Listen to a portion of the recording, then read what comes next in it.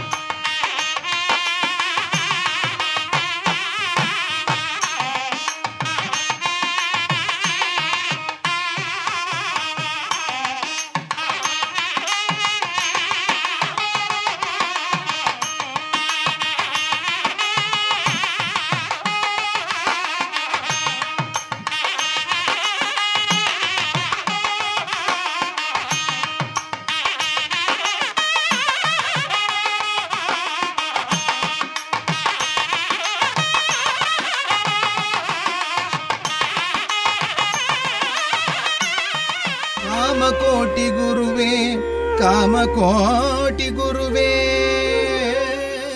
നടമാടും ദൈവമേ. കാഞ്ചിയിലെ നടമാടും ദൈവമേ. കാഞ്ചിയിൽ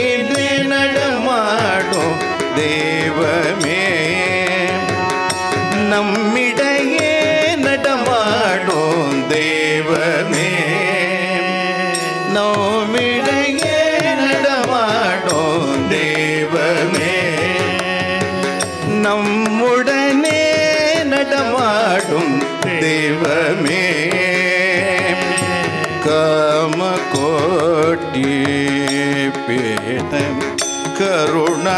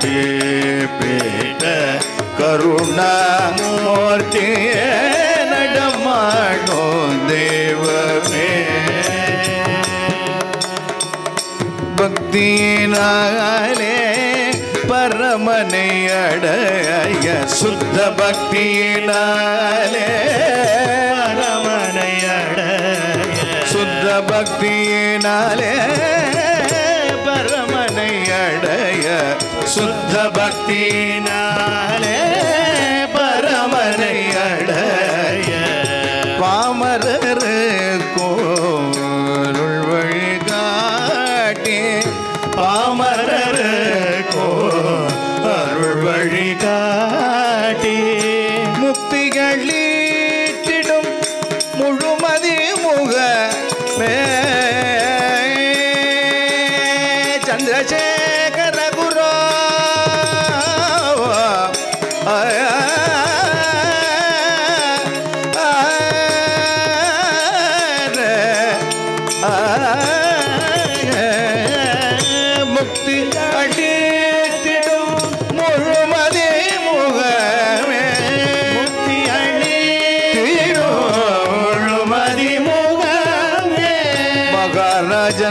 பாடிடும்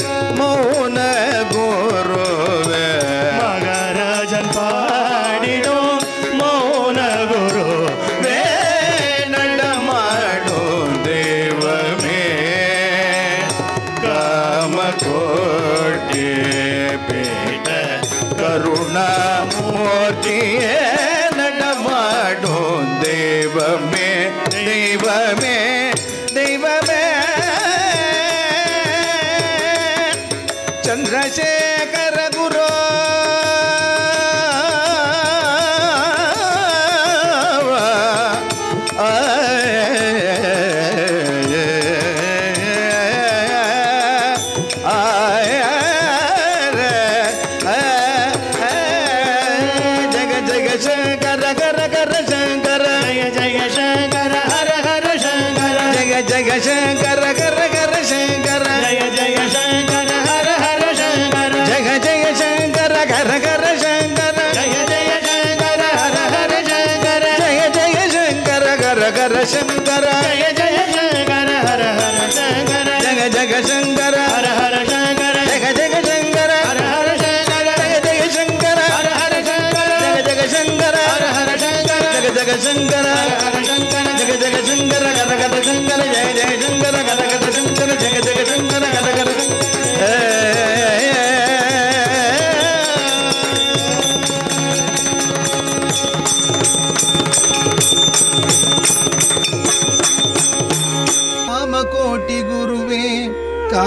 கோட்டி குருவே.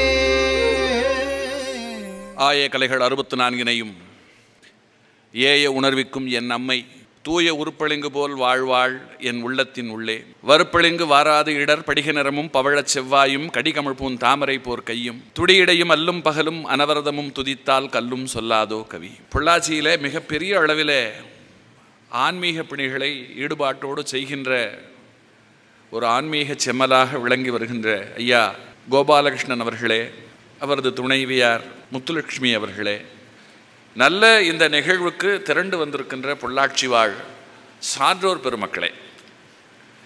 உங்கள் அத்தனை பேருக்கும் முதலில் என்னுடைய பணிவான நன்றி கலந்த வணக்கங்களை நான் தெரியப்படுத்திக் கொள்கிறேன். காஞ்சி மகா முனிவரை பற்றி அனுஷத்தின் அனுக்கிரகம் என்கின்ற ஒரு தலைப்பின் கீழே உங்கள் முன்னாலே நான் இன்றைக்கு சிந்திக்க வந்திருக்கின்றேன். அந்த மகானை அறியாதவர்கள் இருக்க முடியாது. கடந்த நூற்றாண்டு உண்மையில் இந்த நூற்றாண்டோடு ஒப்பிடும் பொழுது ஒரு மிகச்சிறந்த நூற்றாண்டு மட்டும் அல்ல அது அற்புதமான மகாத்மாக்களை நமக்கு தந்த நூற்றாண்டாக விளங்குகிறது.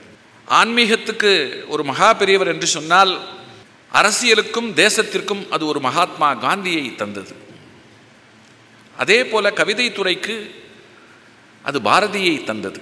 சுதந்திர வேட்கைக்கு அற்புதமான பல தியாக உள்ளங்களாக வவுசி அவர்களையும் சுப்பிரமணிய சிவா அவர்களையும் இன்னும் பல எண்ணிலடங்காத தியாகிகளையும் அது நமக்கெல்லாம் தந்தது. குறிப்பாக நம்முடைய தமிழ்நாட்டிற்கு ஒரு மனிதன் எந்த அளவிற்கு கர்ம வீரனாக இழுக்க வேண்டும் என்பதற்கு இலக்கணமாக அது காமராஜரையும் தந்தது. கடந்த நூற்றாண்டின் கொடையிலே ஒரு ஆன்மீக பெரும் கொடையாக நாம் பெற்ற ஒரு ஜெகத்குரு தான் நம்முடைய மகா பெரியவர் அவர்கள். அவர் இந்த ஜன சமூகத்திற்கு சொந்தமானவர். அவரை பொறுத்தமட்டிலே ஒரு சந்நியாசியாக அவர் இந்த ஒட்டுமொத்த சமூகத்தையும் துளியும் வேறுபாடின்றி சந்நியாசத்திற்கு இலக்கணம் வகுத்த ஒரு சந்நியாசியாக தன்னுடைய வாழ்க்கையிலே வாழ்ந்து காட்டி நேசித்தவராக அவர் விளங்கி சென்றிருக்கிறார். அவர் மறைந்து இருபத்தெட்டு இருபத்தைந்து ஆண்டுகள் நிறைவாகிவிட்டது. ஒரு ஆச்சரியம் என்ன என்று சொன்னால் அவர் வாழ்ந்த பொழுது சிந்திக்கப்பட்டதை விட இப்பொழுது வெகு அளவிலே மிகப்பெரிய அளவிலே அவர் சிந்திக்கப்பட்டு கொண்டிருக்கிறார். அவரை பற்றி அவருடைய கருத்தும் அவருடைய அருள் அம்சமும் அவர் வாழ்க்கையில் நடந்த சம்பவங்களையும் சொல்லாத பத்திரிகைகள் இன்றைக்கு இல்லை.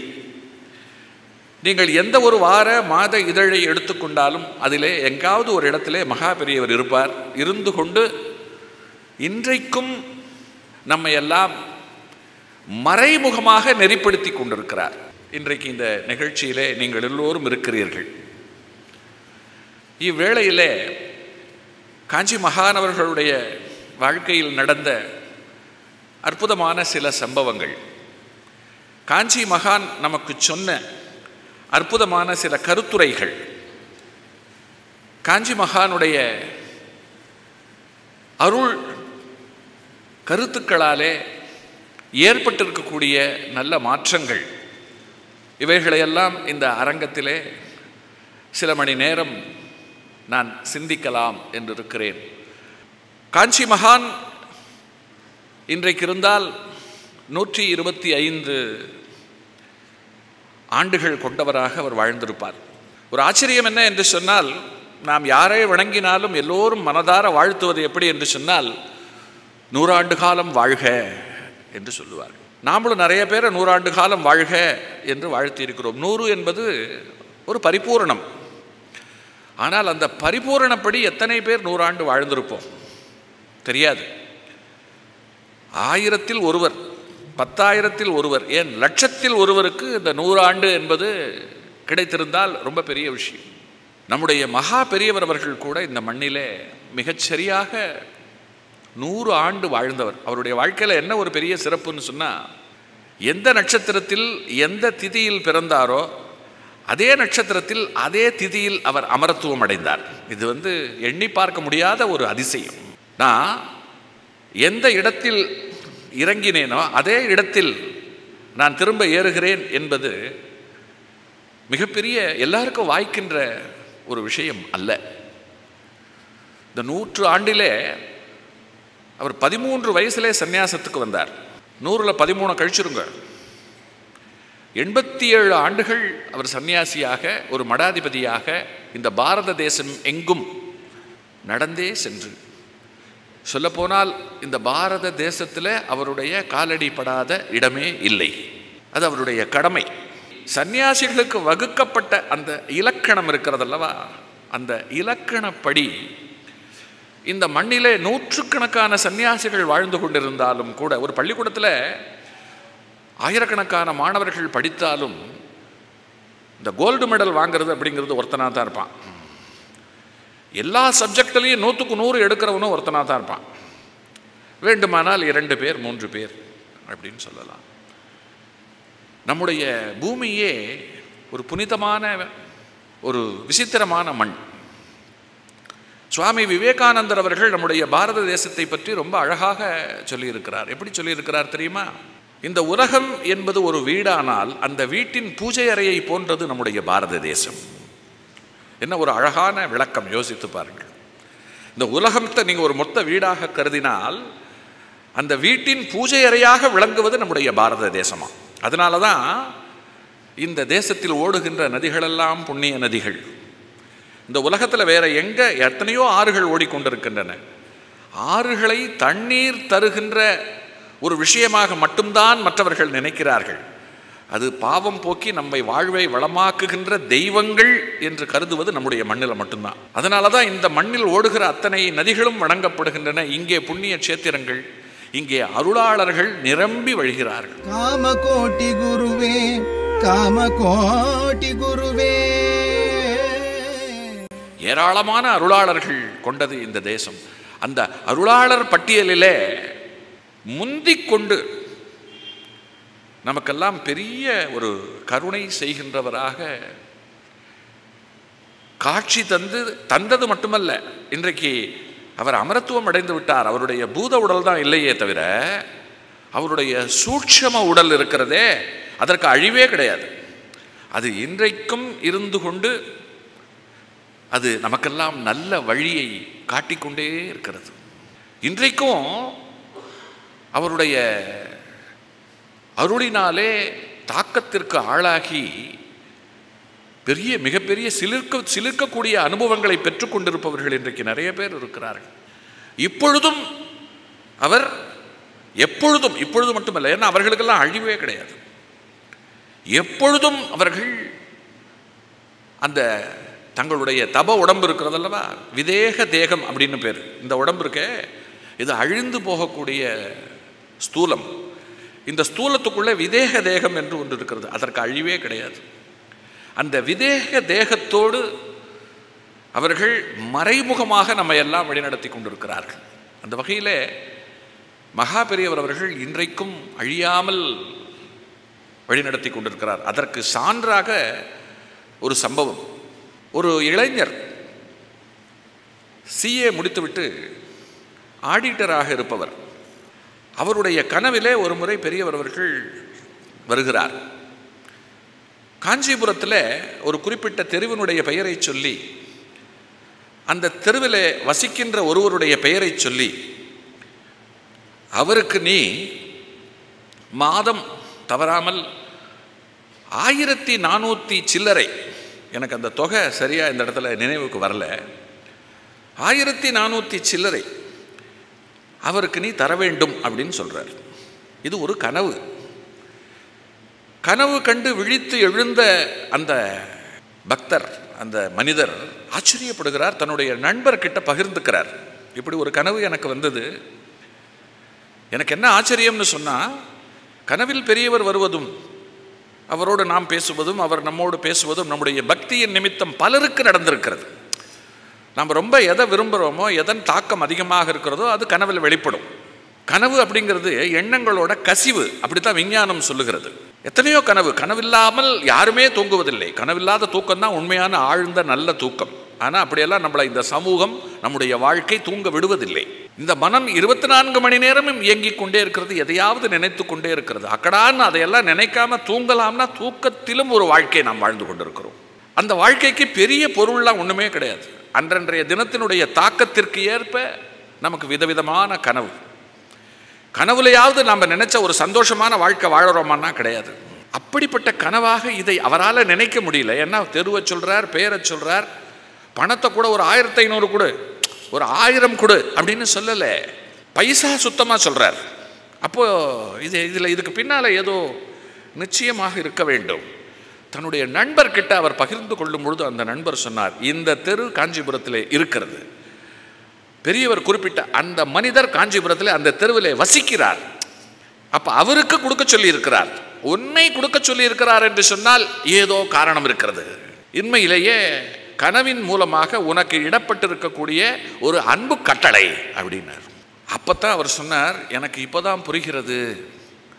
நான் பெரியவருக்கு கடன் பட்டவன் அப்படின்னார். எப்படி? அப்படின்னா அவர் பட்டப்படிப்பு முடித்து விட்ட நிலையில் சிஏ படிக்கணும் ஆடிட்டருக்கு படிக்கணும். படித்து ஆடிட்டராக வரணும் அப்படிங்கிறது அவருடைய விருப்பம். ஆனால் அவருடைய தந்தை அவர் மடத்தில் பெரியவர் பேரில் ரொம்ப பக்தி கொண்டவர் மடத்துக்கு வந்து தன்னால் ஆன சேவைகளை செய்கின்றவர். அப்படி வரும்பொழுது இந்த பையனையும் கூட்டிக் கொண்டு வருவார். பெரியவர்கிட்ட அறிமுகப்படுத்தி வைப்பார். என்னோட பெரிய என்னோட மகன் ஆசீர்வாதம் பண்ணுங்கோ என்று சொல்லி அந்த வகையில் பரிச்சயம். வீட்டில் அப்பாவுக்கும் பிள்ளைக்கும் ஒரு நாள் தர்க்கம். அப்பா நான் வந்து டிகிரி முடிச்சுட்டு நான் சிஏ படிக்க விரும்புகிறேன் அப்படி சிஏ படிக்கணும்னு சொன்னாக்கா ஒரு ஆடிட்டர்கிட்ட ரெண்டு வருஷம் போய் பயிற்சி எடுக்கணும். அதற்கு பிறகு பரீட்சை எழுதணும். அந்த பரீட்சையில் முதல் தடவையிலேயே பாஸ் பண்ணுறது அப்படிங்கிறது குதிரைக்கு கொம்பு முளைப்பதைப் போல. ஏன்னா அது அப்படிப்பட்ட ஒரு தேர்வு. குறைந்தது ஐந்தாறு முறையாவது எழுதினால்தான் அதில் ஒரு வெற்றி கிடைக்கும். அதனால் நான் எப்போ பாஸ் பண்ணுவேன்னு எனக்கு தெரியாது. முதல் தடவையே கிடச்சிட்டா எனக்கு ரொம்ப சந்தோஷம். அப்படின்னு சொல்லும்பொழுது அவர் சொல்கிறார் குடும்பம் இருக்கக்கூடிய சூழ்நிலையில் இத்தனை ஆண்டுகளெல்லாம் உன்னால் என்னால் உன்னை படிக்க வைக்க முடியாது. நீ இப்பொழுதே கிடைக்கின்ற வேலைக்கு போய் இந்த குடும்பத்தை தாங்கிவதற்கு முயற்சி செய் அப்படிங்கிறார். அவருக்கு பிடிக்கல. என்னப்பா இப்படி சொல்கிற அதே சமயம் அப்பா வந்து வேணும்னு சொல்லலை. அந்த குடும்பம் கொஞ்சம் பொருளாதார நெருக்கடியில் இருக்குது இந்த பிள்ளையும் வேலைக்கு போனால்தான் அந்த குடும்பத்தை நல்ல விதமாக நடத்த முடியும் அப்படிங்கிற ஒரு சூழல். அப்போ தான் பெரியவரை பார்க்க வரார். பெரியவரை பார்க்க வரும்பொழுது அந்த வீட்டுக்குள்ளே நடந்த அந்த தர்க்கம் இருக்கிறதே அது மனசுக்குள்ள பெரியவர் பெரியவர்கிட்ட போய் யாரும் நம்முடைய குறையை சொல்லி அழ வேண்டிய அவசியமே கிடையாது. பெரியவர் வந்து ஒரு பெரிய ஸ்கேனிங் மிஷின் எதுக்கு போய் நின்னாலே போகிறோம் நம்ம மனசுக்குள்ளே என்ன இருக்குது அப்படிங்கிறது அவருக்குள்ளே போயிடும். மிகப்பெரிய தீர்க்கதரிசி. ஒரு வார்த்தையை நாம் சொல்லுவதற்கு முன்பாகவே அவர் அதை தெரிந்து கொண்டு மிகச் சரியாக கேட்பார். இது யாருக்கு சாத்தியம் தெரியுமா? நூறு சதவிகிதம் மனதை கட்டுப்படுத்த முடிந்த ஒரு சன்னியாசிக்கு மட்டும்தான் சாத்தியம். இதிலிருந்தே அவர் நூறு சதம் புலன்களை கட்டுப்படுத்த முடிந்த ஒரு சன்னியாசியாக அவர் இருக்கிறார் என்பது விளங்கும். இவர் போய் நின்ன மாத்திரத்தில் பெரியவருக்கு தெரிகிறது. என்ன? உன் மனசுக்குள்ளே ஏதோ சஞ்சலம் இருக்கு போல் இருக்கு. நீ படிக்கணும்னு ஆசைப்படுற உங்கள் அப்பா வேலைக்கு போன்னு சொல்கிறானா என்று மிகச்சரியாக கேட்கிறார். ஆமாம் பெரியவா எனக்கு மேற்கொண்டு படித்து பெரிய நிலைக்கு வர வேண்டும் என்று ஆசையாக இருக்கிறது. அப்பா சொல்லுவதும் சரி எந்த பக்கம் போகிறதுன்னு எனக்கு தெரியல அப்படிங்கிறார். உடனே பெரியவர் சொல்கிறார் அப்பா பேச்சை கேட்டு வேலைக்கு போ அதான் உனக்கும் நல்லது. அப்படின்னும் பொழுது மகிழ்ச்சியாக அதை ஏற்றுக்கொள்ள முடியவில்லை. உண்மைதான் ஆனால் நான் இந்த படிப்பை படித்து முடித்துவிட்டு ஆடிட்டராக ஆகிவிட்டேன் என்று சொன்னால் இந்த ஐம்பத்தெட்டு வயசில் ரிட்டையர்மெண்ட் அதெல்லாம் கிடையாது. இந்த கணிதம் இந்த கணக்கு போடுகின்ற இந்த ஆற்றல் இருக்கிறதே இந்த பதவி இருக்கிறதே இந்த போஸ்ட் இதுக்கு வயசாக ஆக ரொம்ப மதிப்பு. எழுபது எண்பது வயதில் கூட ஒரு நிறுவனத்துக்கு ஆலோசகராக நாம் இருந்து கொண்டு நாம் சம்பாதிக்கலாம். இந்த கல்வி மட்டும் கட்டையில் போய் படுக்கிற வரைக்கும் கூட வரக்கூடியது. அதனால் காலத்திற்கும் நான் வந்து நிறைய சம்பாதித்து எல்லாருக்கும் உதவி செய்யக்கூடிய ஒரு நிலையில் இருக்கணுங்கிறதுக்காக பெரிய படிப்பு படிக்க ஆசைப்படுறேன். ஆனால் படித்த படிப்பு போகிறோம் அப்படின்னு சொல்லும் பொழுது எனக்கு என்னவோ போல் இருக்கிறது என்று சொல்லும் பொழுது பெரியவர் சொல்கிறார் சரி நான் உங்கள் அப்பாட்ட சொல்கிறேன் நானும் நீ ஆடிட்டராக வரணும் அப்படின்னு சொல்லிட்டு ஆசீர்வாதம் பண்ணுறேன் பதிலுக்கு நான் ஒன்று கேட்பேன் நீ தரணும் அப்படிங்கிறார். பெரியவர் வந்து சந்நியாசி யாரிடமும் எதையும் கேட்கக்கூடாது கேட்டது கிடையாது. அதை மீறி கொண்டு கேட்கிறார் என்று சொன்னால் அதற்கு பின்னாலே அது ஒரு சின்ன திருவிளையாட்டுன்னு எடுத்துக்கலாம். அதற்கு பின்னாலே ஏதோ ஒரு பெரிய அற்புதம் நடக்கப் போகிறது அப்படின்னு எடுத்துக்கலாம். நிறைய அதை வந்து நம்ம பொறுமையாக இருந்து பார்த்தால்தான் தெரியும். தான் வாழ்ந்த காலம் முழுக்க பணத்தை கையாலேயே தொட்டதில்லை அவர். ஓடும் பொன்னும் ஒக்கவே நோக்குவர் பெரியர். வீட்டுக்குறையில் இருக்கிற ஓடு இருக்கு இல்லையா ஓட்டான் சில்லு. அந்த ஓட்டான் சில்லும் தங்கம் இருக்கு இல்லையா அந்த ரெண்டையும் ஒன்றாக கருதுகின்றவர்கள். நல்ல சன்னியாசிகள் பெரியவருக்கும் அப்படித்தான். அவருக்கு அதெல்லாம் எந்த பற்றும் கிடையாது. கடைசி வரையில் அவர் தன்னை நாடி வந்த கோடிகள் இருக்கிறதல்லவா அந்த கோடிகளை எல்லாம் அவர் தீண்டியதே கிடையாது. ரொம்ப கவனமாக இருந்தார்.